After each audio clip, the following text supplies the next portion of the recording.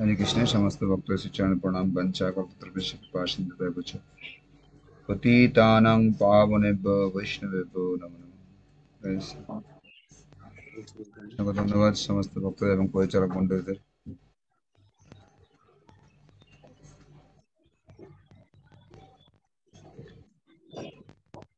আপনাদের সকলের কৃপা, আশীর্বাদ নিয়ে ভাগবত প্রবেশ করছি। धूमज्ञानतिमिरन्धस्य ज्ञानञ्जनशलाकया चक्षुन्मिलितं तस्म श्री श्रीगुरुवे नम। नमो विष्णुपादाय कृष्णपृष्ठाय भूतले श्रीमते।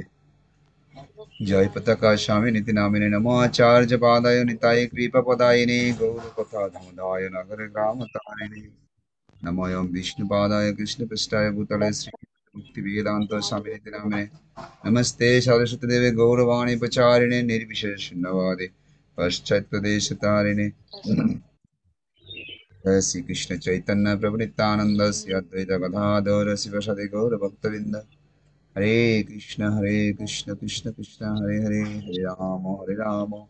राम राम, हरे हरे ओम नमो भगवते वासुदेवाय। ओम नमो भगवते वासुदेवाय। ओम नमो भगवते वासुदेवाय। नारायणं नमस्कृत्यं नरं च पुनरतं देवीं सरस्वतीं व्यासं तदयमुदीरयेत् नष्टप्रायेषु अभद्रेषु नित्यं भागवतसेवया भागवतिरुत्तमश्लोके भक्तिर्भवति नष्ट किं कं करति वाचालं पङ्गुलङ्गयति गिरिं यत्कृपातमहं वन्दे श्रीगुरुदिनतारिणं श्रीचैतन्येश्वरं परमानन्दमाधवं हरि ओम तत्स जय गुरु महाराज की जय श्री प्रभुपाद की जय अमर पुराण श्रीमद् भागवतम की जय हरिनाम संकीर्तन महायज्ञ की जय समस्त भक्तवृंद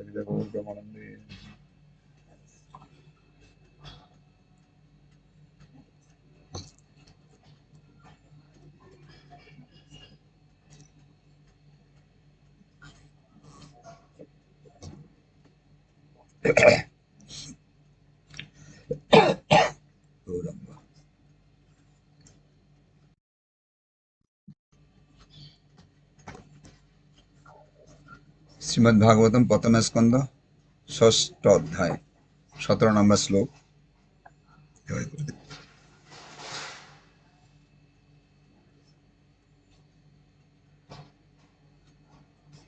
প্রেমাতিবর নির্ভিন্ন নির্বিত আনন্দ সংপ্লবে লীন ন অপশ্যাম উভয়ম মুনে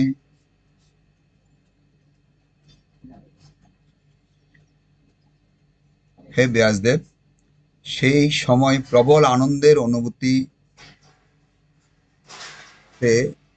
অভিভূত হয়ে পড়ার ফলে আমার দেহের প্রতিটি অঙ্গ প্রত্যঙ্গ পুলকিত হয়েছিল। আনন্দের সমুদ্রে নিমগ্ন হয়ে আমি সেই মুহূর্তে ভগবানকেও এবং নিজেকেও দর্শন করতে পারছিলাম না। হরি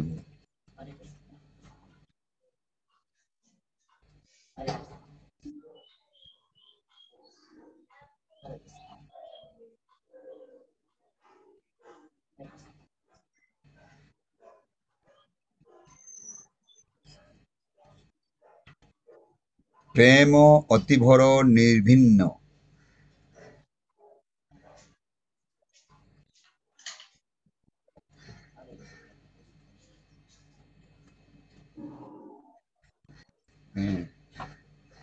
প্রেম হচ্ছে কি? অত্যন্ত বৈশিষ্ট্যপূর্ণ। পুলক আনন্দভূত, আনন্দ অনুভূতি, পুলকয় অঙ্গ অতি নিবৃত্ত হ্যাঁ বলছে কি, সেই প্রেম লাভ করে বৈশিষ্ট্যপূর্ণ আনন্দ অনুভূতি হয়েছে আমার। অতি নিবৃত্ত, সম্পূর্ণরূপে অভিভূত হয়ে। অঙ্গ, দেহের বিভিন্ন অঙ্গ। আনন্দ পাচ্ছেন। সম্প্লবে লীন ন অপশ্যম, উভয়ম মনে। আমি এতই অভিভূত হয়েছি, আনন্দের সমুদ্রে নিমগ্ন হয়েছি, সেখানে উভয়কে হ্যাঁ।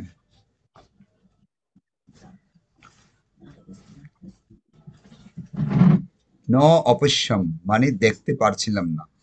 উভয়কে, উভয়ম মনে, হে ব্যাসদেব, আমি উভয়কে উভয়কে মানে আমাকে এবং ভগবানকে।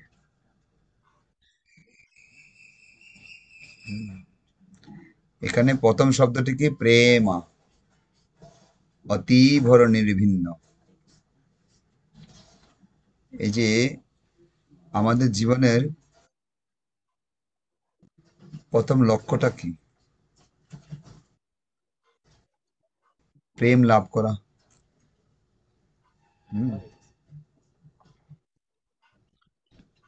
কি লাভ? কালকে এবং তার আগের দিন আমরা প্রভুপাদ বুঝিয়েছেন এখানে গতকালকে তো বুঝিয়েছেন, প্রেম লাভের স্তরগুলো বুঝিয়েছেন। তাই না?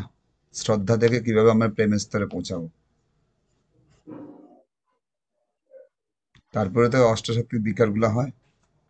আর এখানে নারদমুনি তাই বলছেন, আমি এত মানে প্রেমে অভিভূত হয়েছিলাম, তখন আমার শরীরে হ্যাঁ অঙ্গগুলি পুলকিত হচ্ছে। এই যে প্রেম শব্দটা কি জিনিস?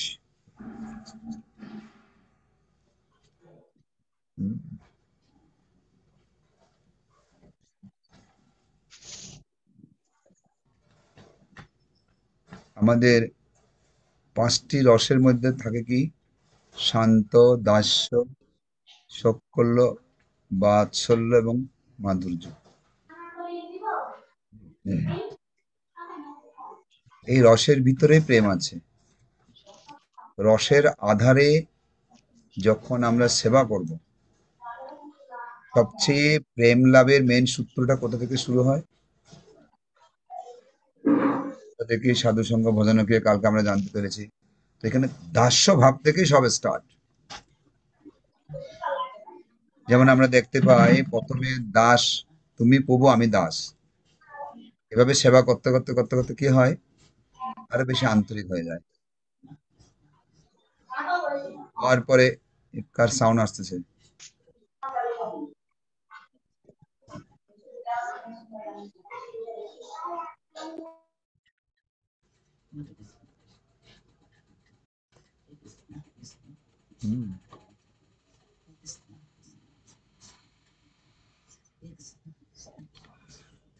ভক্তি পুরুষোত্তম স্বামী মহারাজ বিশ্লেষণ করেছেন একবার আমাদের কাছে। তিনি বলেছেন এই প্রেম মানেটা কি? যে দাস্য ভাবটা যত গভীরে যাবে, আস্তে আস্তে আমাদের ভগবানের সঙ্গে বিভিন্ন রস আস্বাদন হবে, ভাব আস্বাদন হবে। যেমন দাস্য ভাবে যখন সেবা করব ভগবানকে, তখন আমাদের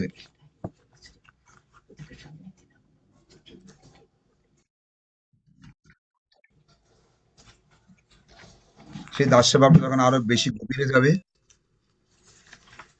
তখন বিভিন্ন সখ্য ভাব আসবে পবিত্র ভাব আসবে, মাধুর ভাব আসবে। এখানে পাঁচটা রস আমাদেরকে শিক্ষা দিয়েছেন।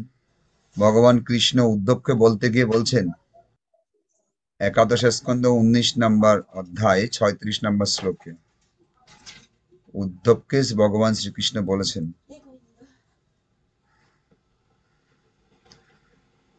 সম মতনিষ্ঠতা বুদ্ধে ধম ইন্দ্রিয় সংযম তিতিক্ষা দুঃখ সংমর্ষ জিব্বায় উপস্থ জয় ধৃতি বলছে কি? মানসিক সাম্য এবং ইন, সম্পূর্ণ ইন্দ্রিয় সংযম করে। কি বলছে? মানসিক সাম্য এবং হ্যাঁ সম্পূর্ণ ইন্দ্রিয়কে সংযম করে বুদ্ধিকে আমাতে নিবিষ্ট করাই হচ্ছে আত্মসংযম।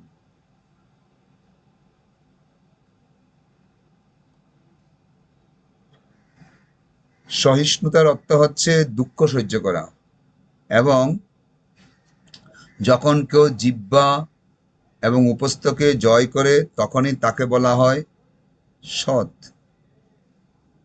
সাধুর পর্যায়ে আসতে পারে সে। কথাগুলো কে বলছেন? কৃষ্ণ উদ্ধবকে বলছেন। যার প্রেম পাওয়ার জন্য আমরা লালায়িত, সেই প্রেমিক শিক্ষা দিচ্ছেন উদ্ধবের মাধ্যমে। জিব্বা আর উপস্থকে জয় করে সে হচ্ছে সৎ ব্যক্তি, সে হচ্ছে সাধু হওয়ার যোগ্য।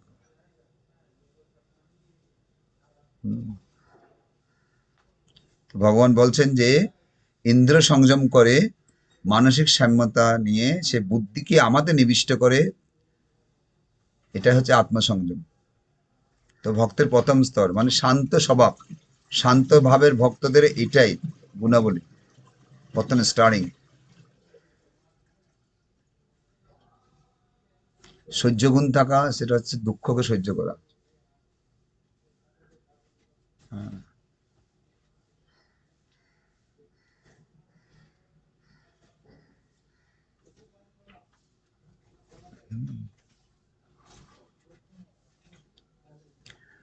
প্রকৃত দুঃখ কি?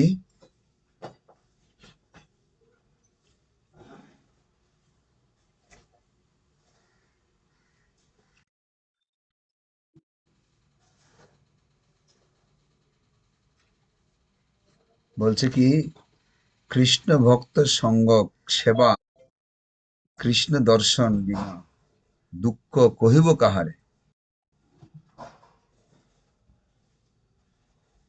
এটা হচ্ছে জীবনের পরম দুঃখ। যারা উন্নত মানের তাদের এটাই দুঃখ হয়।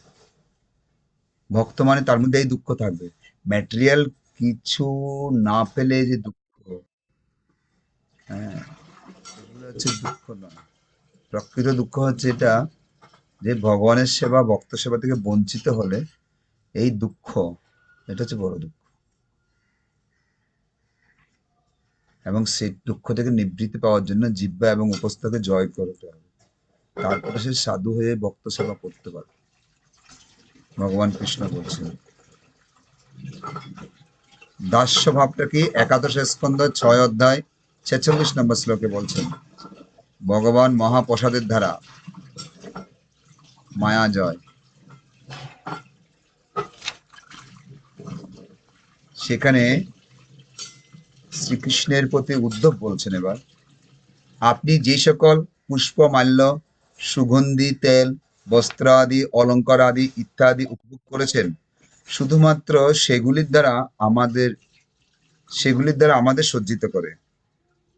এবং আপনার ভোজনের অবশিষ্ট অংশ মানে উচ্ছিষ্ট আহার করে আমরা আপনার দাসেরা সুনিশ্চিতভাবে আপনার মায়া শক্তিকে জয় করব। কৃষ্ণের প্রতি উদ্ধব বলছেন এটা। একাদশ স্কন্দ ষষ্ঠ অধ্যায়। ছেচল্লিশ নম্বর শ্লোক। মানে দাস্য ভাব সম্বন্ধে উদ্ধব ভগবানের কাছে প্রার্থনা করছে আপনাকে মালা, ফুল, তেল, বস্ত্র আদি এগুলো দিয়েছি, এটা যে আপনি উপভোগ করছেন, শুধুমাত্র সেগুলির দ্বারা আমাদের সজ্জিত হবে। কিন্তু আপনার উচ্ছিষ্ট গ্রহণ করে আমরা আপনার দাসেরা সুনিশ্চিতভাবে আপনার মায়াকে জয় করতে পারবে। এর আগে কি বলল? জিহ্বার উপস্থকে জয় করা। মহাপ্রসাদ তার জন্য দরকার। এটা দাস্য ভক্তের বলছে এটা। তারপরে দশম স্কন্ধ একুশ অধ্যায়ের আঠারো নম্বর শ্লোকে বলছেন যে, গোবর্ধন হচ্ছে সর্বশ্রেষ্ঠ সেবক। কি? গোবর্ধন পর্বত ভক্তগণের মধ্যে এই গোবর্ধন হচ্ছে, পর্বত হচ্ছে শ্রেষ্ঠ। হে সখীগণ এই বৎস গোবৎস, এই পর্বত গোবৎস, গাবি, গোপগণের সঙ্গে কৃষ্ণ বলরামকে পানীয় জল, অত্যন্ত কোমল ঘাস, গুহা, ফল, ফুল ও শাকসবজি সমস্ত রকমের প্রয়োজনীয় দ্রব্যই সরবরাহ করে। কে? গোবর্ধন। তার জন্য? কৃষ্ণ বলরাম যখন সেখানে গোচারণে যান, তাদেরকে সব সরবরাহ করে। এইভাবে এই পর্বত ভগবানকে শ্রদ্ধা নিবেদন করছে। কৃষ্ণ ও বলরামের চরণ স্পর্শ লাভ করার ফলে গোবর্ধন পর্বতকে অত্যন্ত উৎফুল্ল মনে হচ্ছে।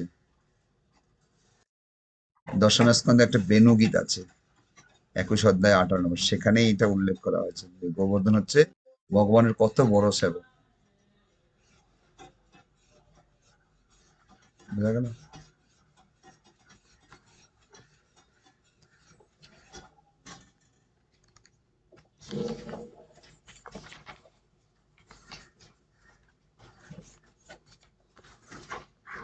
সৈক্য রসের মহিমা কি?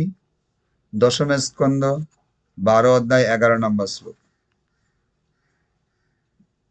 সমস্ত গোপবালকেরা ব্রহ্মজ্যোতিতে লীন হয়ে যাওয়ার আকাঙ্ক্ষী জ্ঞানীদের কাছে ব্রহ্মানন্দের উৎসস্বরূপ দাস ভাবাপন্ন ভক্তদের পরম প্রভু। এবং মায়াশ্রিত ব্যক্তিদের কাছে এক সাধারণ নরশিশুরূপে প্রতীয়মান শ্রীকৃষ্ণের সঙ্গে খেলা করতেন তারা। সেই সমস্ত গোপবালকেরা তাদের জন্ম জন্মান্তরের পুঞ্জীভূত পুণ্যকর্মের ফলে এইভাবে ভগবানের সঙ্গ লাভ করার যোগ্যতা অর্জন করেছিল। তাদের সৌভাগ্য কে বিশ্লেষণ করতে পারে। মহারাজ পরীক্ষিতের প্রতি সুখদেব গোস্বামী বলছেন, সেই সক্ষরস বন্ধুত্ব ভাব সেখানেও দাস্য ভাব আছে। সকারা কি করতেন? আরও বেশি ভগবানকে সেবা করার সুযোগ নিতেন। হ্যাঁ।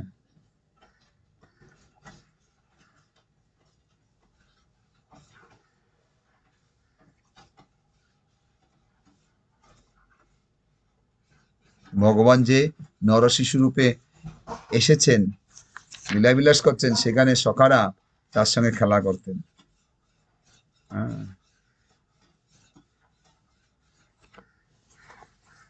তো মহারাজ বলছিলেন তখন যে, দেখো, আমাদের দাস্য ভাবটা যত বেশি উন্নত হবে, যত বেশি আমরা গভীরে যাব, আরও বেশি আরও বেশি আরও বেশি স্বতঃস্ফূর্ত সেবা করতে থাকব, তখন সেই সেবার মাধ্যমে ভগবান আমাদেরকে কখনো আমাদের কাছে বন্ধু হয়ে যাবেন, কখনো আমাদের কাছে সন্তান রূপে আসবেন, কখনো আমাদের কাছে প্রেমিক হয়ে যাবেন। সেই ভাবটা আমাদের মধ্যে জাগাবে, তার সেটা হওয়ার ইচ্ছা হবে।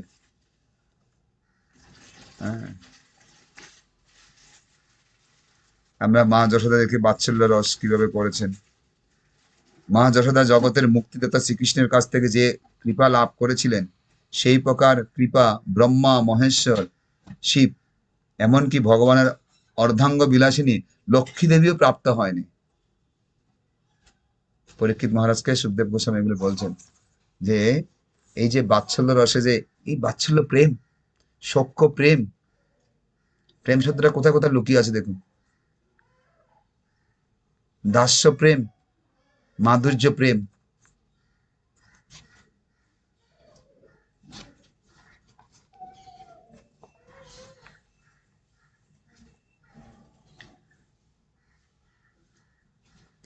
যে ভগবানকে শুধু যে মা যশোদা তাকে বাৎসল্যভাবে করছে তা না, এই যেমন গৌপীরা এবং গাভীরা অনেকেই তাকে বাৎসল্য রসে ভালোবাসত। হ্যাঁ দশম চোদ্দ অধ্যায় একত্রিশ নাম্বার শ্লোকে বলা আছে, হে সর্বশক্তিমান প্রভু, বৃন্দাবনের গাবি ও গোপীগণ কত মহা সৌভাগ্যবতী যে আপনি গোবৎস ও গোপবালক স্বরূপে আনন্দে তাদের স্তন দুগ্ধ পান করছেন। ব্রহ্মা যখন লুকিয়ে রেখেছিল না, মনে আছে? গরু বাছুর গুলাকে হ্যাঁ সকাগুলোকে লুকিয়ে রেখেছিল, তখন ভগবান নিজের শরীর থেকে সবাইকে প্রকট করেছিল। তখন সবাই গিয়ে তাদের মায়েদের কাছে, গোমাতাদের কাছে গিয়ে দুগ্ধ পান করছেন। সেটা কে পান করছে? কৃষ্ণ স্বয়ং বাছুর রূপে গেছেন গোপবালক রূপে গেছেন, তাদের কাছে সেই স্তন পান করছেন। এই কথাটা এখানে বলছেন দশম স্কন্ধ চোদ্দ একত্রিশ নম্বর শ্লোকে, যে তারাও বাৎসল্য রস আস্বাদন করেছেন, তাদেরকে সেই প্রেম দান করেছেন ভগবান। তারা কত সৌভাগ্যবতী। গাবি ও গোপীগণ মহা সৌভাগ্যবতী এখানে গোপীগণ বলতে শুধু যে যারা কৃষ্ণের সঙ্গে রাসলীলা করছে, তারাই শুধু গোপী, বাকিরা গোপী নয়, না। যারা বয়োজ্যেষ্ঠ গোপী আছেন, যারা কৃষ্ণকে বাৎসল্য রূপে পেয়েছেন।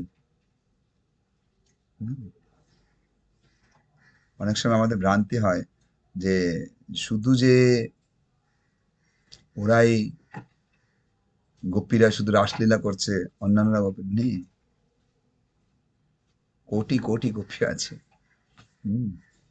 এই জন্য বলছেন, ওরা যে কত সৌভাগ্যবতী। আপনি গোবৎস এবং গোপবালক স্বরূপে আপনি যখন গোবৎস রূপ নিয়েছিলেন গোপবালক রূপে স্বরূপে হ্যাঁ, নিজেকে প্রকাশ করেছিলেন তখন তাদের আনন্দে স্বরূপে আনন্দে তাদের স্তন পান করেছিলেন। অনাদিকাল থেকে আজ পর্যন্ত যত বৈদিক যজ্ঞ আদি অনুষ্ঠিত হয়েছে তাও আপনাকে এত তৃপ্তি দান করতে সমর্থ হয়নি। এটা কে বলছেন? ব্রহ্মা প্রার্থনা করছেন ভগবানের কাছে।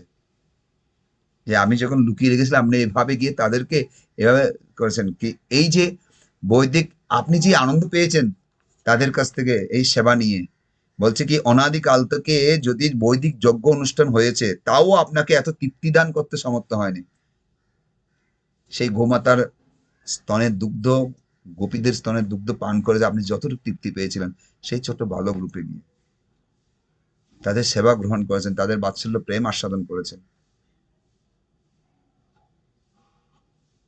ব্রহ্মা তখন প্রার্থনা করছেন বৈদিক যজ্ঞ কি হবে?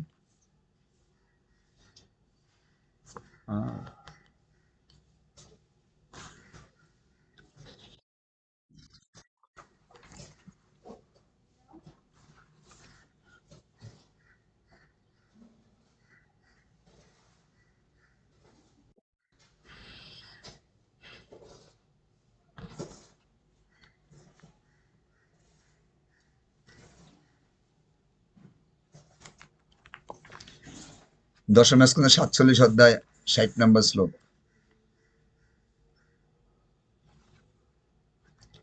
গোপীদের অর্জিত মাধুর্য প্রেম, অতুলনীয় রস। ভগবান শ্রীকৃষ্ণ যখন রাসলীলায় গোপীদের সঙ্গে নৃত্য করেছিলেন, কাদের সঙ্গে? মাধুর্য প্রেম কান্তা ভাব যেটাকে বলা হয় গোপীদের প্রেম হচ্ছে কি কেবলা প্রেম। ভগবান শ্রীকৃষ্ণ যখন রাসলীলা গোপীদের সঙ্গে নৃত্য করেছিলেন, তখন গোপীরা ভগবানের দুই বাহুতে তার আলিঙ্গনবদ্ধ মাঝে মধ্যে হয়ে যেতেন। লক্ষ্মী দেবী বা চিন্ময় জগতের লক্ষ্মী দেবী বা চিন্ময় জগতের অন্যান্য স্ত্রীগণ কেউ এই অপ্রাকৃত কৃপা অনুগ্রহ কখনো প্রদান করেননি ভগবান শ্রীকৃষ্ণ।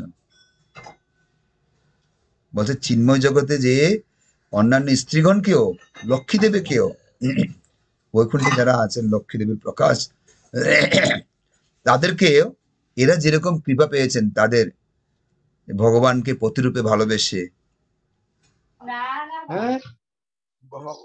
হরে কৃষ্ণ। ভাগি ছাড়িয়ে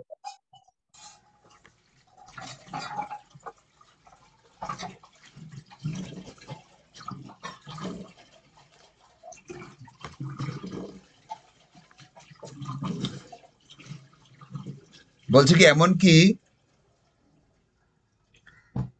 পদ্ম সদৃশ্য দেহ সৌরভ ও ক্রান্তি বিশিষ্ট স্বর্গের অপ্সরা। কি, স্বর্গের অপ্সরা নাম শুনলে তো সবচেয়ে ফেমাস এর উপর আর কিছু হতে পারে? স্বর্গের অপ্সরাগণ এমন ঘটনা কখনো কল্পনাও করতে পারে না। এরকম চিন্ময় আনন্দ সুখ। এখানে প্রপাত নিচে তাৎপর্যের প্রথমে লেখেন, চিন্ময় সুখানুভূতি গভীর আনন্দের সঙ্গে জাগতিক কোনো কিছু তুলনা হয় না। তো ভগবানের অঙ্গ স্পর্শ মাধুর্য প্রেমের মাধ্যমে লাভ করেছে। বাৎসল্য প্রেমের মাধ্যমে তাদের সেবা করার সুযোগ পেয়েছে। হ্যাঁ সখ্য ভাবের সঙ্গে তাদের সঙ্গে খেলা করার সুযোগ পেয়েছেন ভগবান সঙ্গে তারা। এই যে প্রেমের চিন্ময় সুখ, সেটা কখনো এই জড়জাগতিক সুখের সঙ্গে তুলনা করা যায় না। জড়জাগতিক বিচারে অত্যন্ত, অতি সুন্দরী রমণীর কথা আর কি বলা আছে? উদ্ধব গীতের মধ্যে, উদ্ধব গীতে উল্লেখ আছে। মানে গোপীদের গুণগান করছেন সেখানে। গোপীরা কত মহান। তারা মাধুর্য রসের মাধুর্য প্রেমে ভগবানকে ভক্তি করেছেন।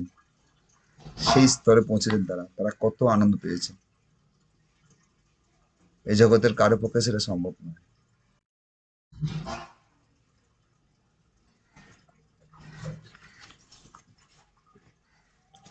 উদ্ধব যখন বৃন্দাবনে গিয়েছিলেন, তখনই উদ্ধব গিয়েছিলেন যে, গোবিন্দের জন্য গোপীদের হচ্ছে কেবলা প্রেম।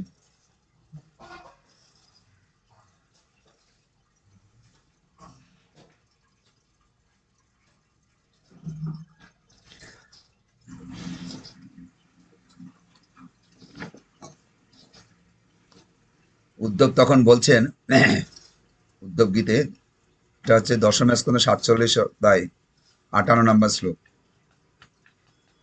পৃথিবীর সমস্ত মানুষের মধ্যে এই গোপীরাই হচ্ছে বাস্তবিকই তাদের দেহরূপী জীবন সার্থক করেছেন। মানে যে দেহটা পেয়েছেন, এই দেহটাকে সার্থক করেছেন একমাত্র তারাই। উদ্ধব তাদের গুণগান করতে গিয়ে বিশ্লেষণ করছেন। সে সাক্ষাৎ দেখছেন না তাদের অবস্থা। পৃথিবীর সমস্ত মানুষদের মধ্যে এই গোপীরাই বাস্তবিকই তাদের দেহদারী জীবন সার্থক করেছেন। কারণ তারা ভগবান গোবিন্দের জন্য অভিমিশ্রিত প্রেমের পূর্ণতা অর্জন করেছেন।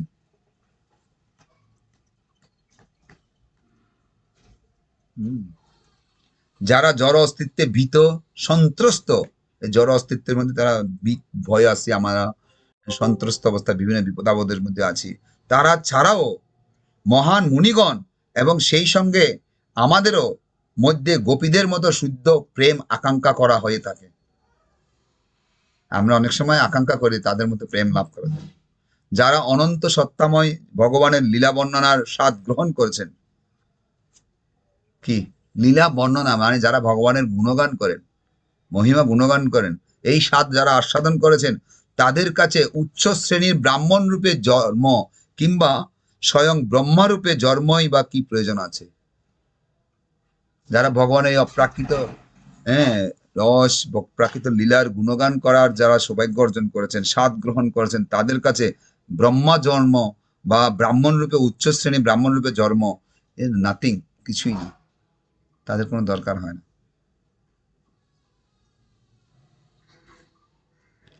এজন্য বলে না, যেই ভজে সেই বড় অবক্তহীন হিংসার কৃষ্ণ ভজনে জাত কুলাতে যে কৃষ্ণ ভজন করে, সে হচ্ছে সর্বোত্তম, সে হচ্ছে উন্নত এখানে আজকের প্রপার তাৎপর্যের মধ্যে জাগতিক আনন্দ এবং চিন্ময় আনন্দের প্রকারভেদ নারদ মুনির এই কথার মাধ্যমে এখানে তুলে ধরেছেন।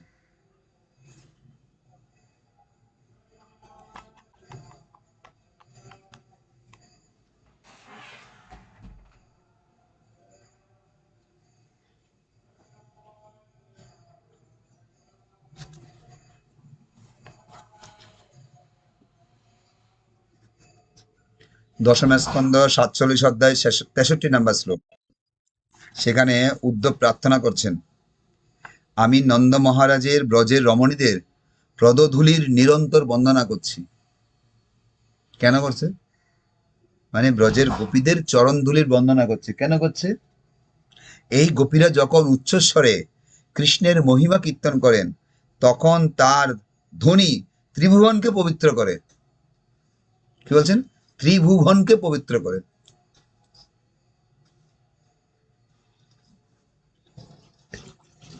এই গোপীরা কারা? চৈতন্য লীলায় যারা অংশগ্রহণ করেছেন, পুরুষ দেহে মহাপ্রভু হচ্ছে রাধারানীর ভাব আর সমস্ত গোপীরা তারা বিভিন্ন ভক্তরূপে তারা এসছেন, এসে মহাপ্রভু অংশগ্রহণ করেছেন। তারা যখন সংকীর্তন করছেন, ভগবানের শুদ্ধ ভক্তরা এই জগতে বিভিন্ন জায়গায় ছড়িয়ে আবির্ভূত হয়েছেন কলিযুগে, তখন তাদের মুখে যে ভগবানের হরিধ্বনি, ভগবানের নাম, গুণ, মহিমা যখন কীর্তন হয়, ত্রিভুবনকে পবিত্র করে। যার ফলে আজকে শিল প্রভুপাদের মুখ থেকে যে ভগবানের বাণী আবির্ভূত হয়েছে, প্রকাশ হয়েছেন সেটার দ্বারা সারা জগৎ পবিত্র হয়েছে। হচ্ছে এখনও পর্যন্ত? তার উত্তরসূরি যাদের রেখে গেছেন, তাদের দ্বারা চলছে।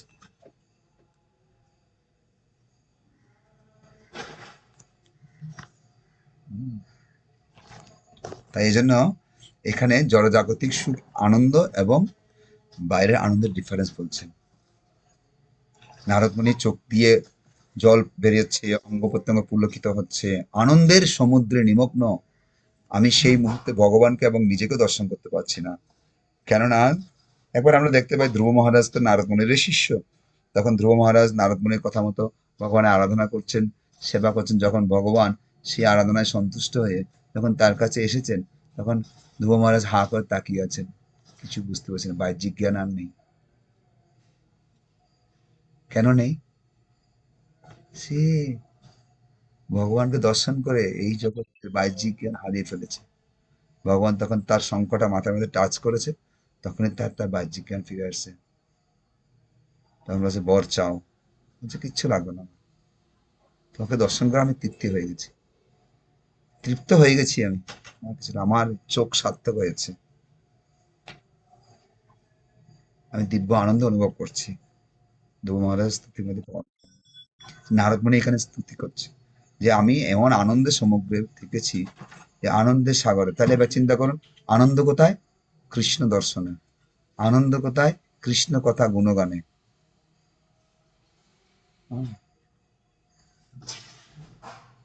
সুখ কোথায়? কৃষ্ণের সেবায়।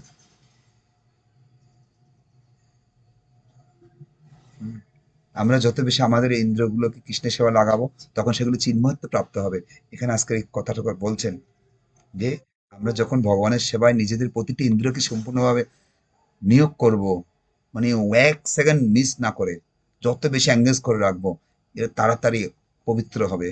ইন্দ্রগুলো চিন্ময়ত্ব প্রাপ্ত হবে।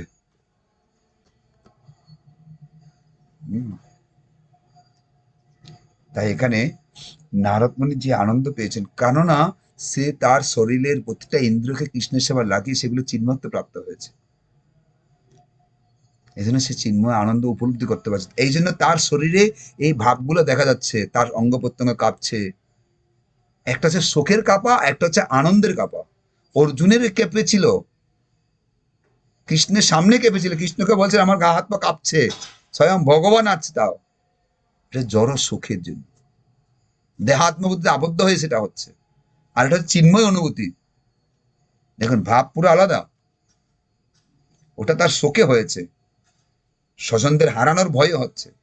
কিন্তু নারদমণির এই আনন্দ হচ্ছে, চিন্ময় সুখের আনন্দ।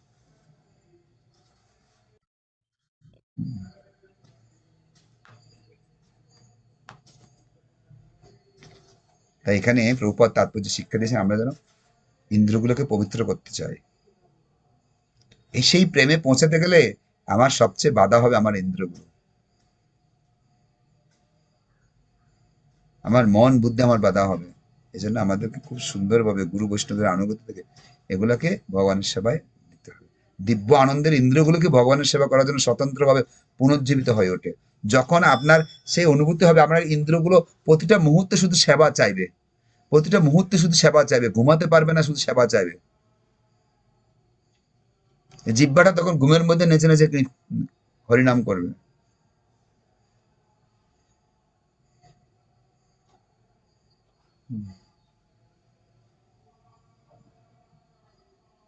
এ অর্জুন ঘুমের মধ্যে কৃষ্ণকে ডাকে। সেটা জয়প্রকাশ স্বামী মহারাজ একটা লীলা আছে ঘুমের মধ্যে হরিনাম করছে। হচ্ছে যে সম্পূর্ণ শরীরটা তারা ভগবানের সেবা লাগাচ্ছে। তার সাধারণ নয়, এজন্য বলছি কি, কোনো সাধুগুরু বৈষ্ণবদের দেহটাকে জড়জাগতিক ভাবে চিন্তা করা উচিত নয়।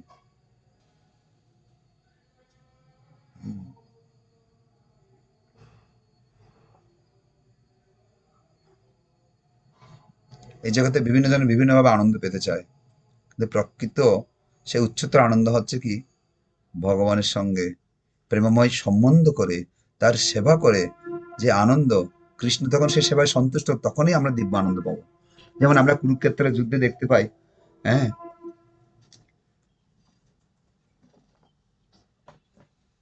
ভীম যখন দুর্যোধনের রক্ত পান করেছে, যখন সে রক্ত নিয়ে যখন দ্রৌপদীর চুলের মধ্যে লাগাতে পেরেছে, তখন সে আনন্দ পেয়েছে। তাহলে তার আনন্দটা আলাদা।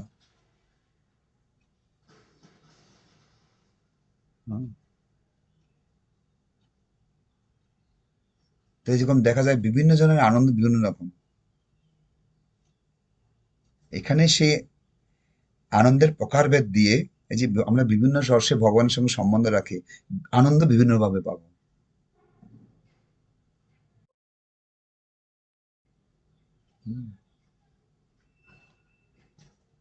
চিন্ময় অনুভূতি কখন হবে? যখন আমাদের সঙ্গে ভগবানের সম্বন্ধটা গভীর হবে, সেবা ভাব গভীরে যাবে।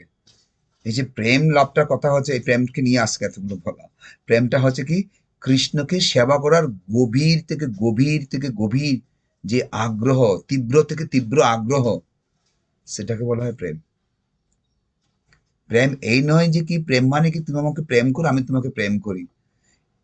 এটা give and take policy material love letter এগুলো নাথিং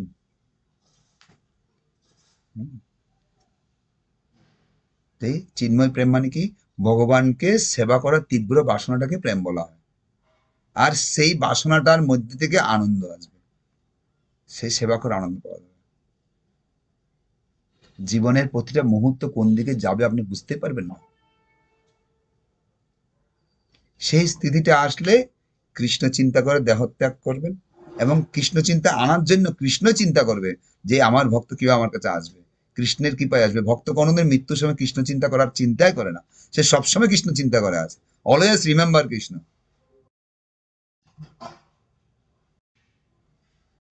হ্যাঁ।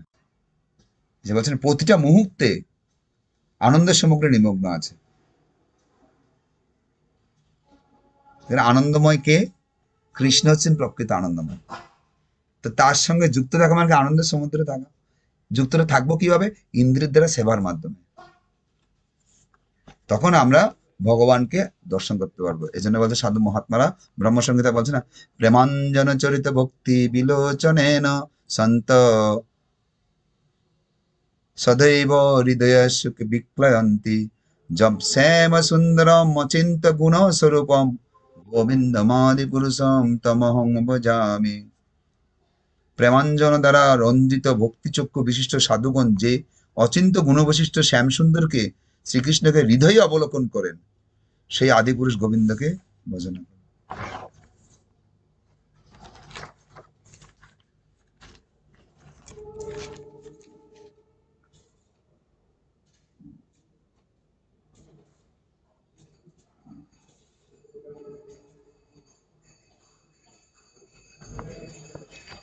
তাই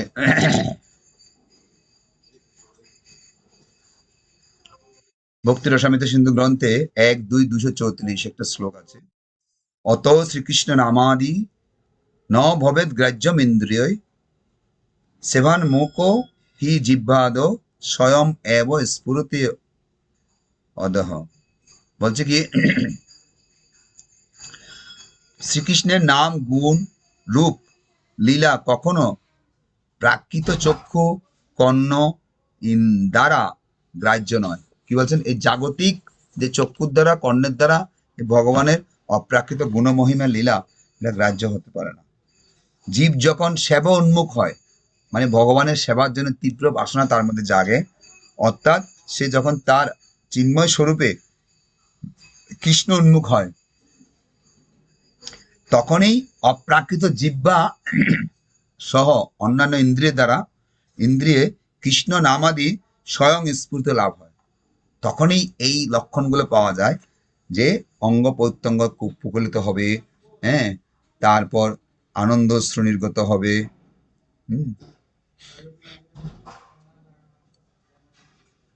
এটা হচ্ছে সেই লক্ষণ। কখন হবে? যখন আমাদের হ্যাঁ? জীব যখন, আমরা যখন সেবা উন্মুখ হব, ভগবানের সেবা উন্মুখ তীব্র বাসনায় সে সেবা করব। তখনই আমাদের এই স্মৃতিটা চলে আসবে। এই জন্য আমাদের ছিল প্রভুপাদের যে ছত্রছায়া আসতে পেরেছি, তার আদেশ উপদেশ সুন্দরভাবে পালন করে, সত্যিকার সুন্দরভাবে সাধনা করে, ধীরে ধীরে আমরা এইভাবে চলে আসতে হবে। এখন যদি আমরা জোর করে কৃত্রিমভাবে কোনো কিছু করতে কিচ্ছু হবে। গুরুর আদেশ যত সুন্দর করে পালন করব, তত বেশি হৃদয়ে এই তীব্র বাসনাটা জাগবে। ভৌতিক বাসনা কমে যাবে। ভালো করে হরিনাম করলে, গুরুদেবের আদেশ পালন করলে, সেবা করলে ধীরে ধীরে সাকসেস হতে পারবে। আমার শ্রীমদ ভাগবতম কি যায় শিল প্রভুপাত কি যায় গুরু মহারাজ কি যায় সমাজ ভক্ত কোট প্রমানন্দ আজকে এই শুভ দিনের শুভক্ষণে মাতাজির চরণে এবং আপনার রাতুল চরণে আমার সশস্ত্র প্রণাম। আজকে আপনার অমৃতময় বাণী, আপনার কৃপাতে ছন্দ আমি লিখতে সমর্থ হয়েছি, আপনি ক্ষমা সুন্দর দৃষ্টিতে দেখবেন। যেজন প্রেমের ভাব জানে না, তার সঙ্গে কিসের লেনা দেনা? শুদ্ধ ভক্তের লেনা দেনা অপ্রেমীদের সাথে মায়া শক্তিকে দূরে সরাতেই, ছোটে বিদেশের পথে। পঞ্চরসে হৃদয়ে ভেসে ভগবানে ভালোবাসা, ভগবানের সন্তোষ লাগি এই জীবনে আসা। শান্তরসে গোবর্ধন চিরকাল আছে দাঁড়িয়ে, সক্ষরসে যত সখা, এটো ফল দেন বাড়িয়ে। শুধু কি যশোদা বাৎসল্যে? গাভী মাথারাও দুগ্ধ খাওয়ায়, বৃন্দাবনের ধুলাতে প্রেম প্রেম বহে মৃদু হাওয়ায়। যোগেশ্বর ভগবান তুমি, যোগ্য তোমারই জন্য, কেবলা প্রেমে গোপী সকল দুবাহু মাঝে ধন্য। এ জগতে কোথায় কৃষ্ণ প্রেম সবই নকল অনিত্য। দেহ সুখের কাঙাল হয়ে কামনা পূর্ণ চিত্ত। যারা জানলো কে তুমি, তারাই চিন্ময় স্তরে। পুরুপি কুপচার প্রেমে কৃষ্ণ তার ঘরে। অবাক হয় ধ্রুব মহারাজ, চোখের পলক নড়ে না। কৃষ্ণ দর্শনে মোহিত হয়ে মুখের বাকটি সরে না। নারদ মুনির অঙ্গে বহে আনন্দ বাড়ি ধারা। অপি- অপবিত্র থেকে পবিত্রতা তার সেবাতে যারা। ঘুমের মধ্যে কৃষ্ণ বলে, সেই তৃতীয় পাণ্ডব। গুরু মহারাজও সেই স্তরে। আমরা দুষ্টু কৌরব।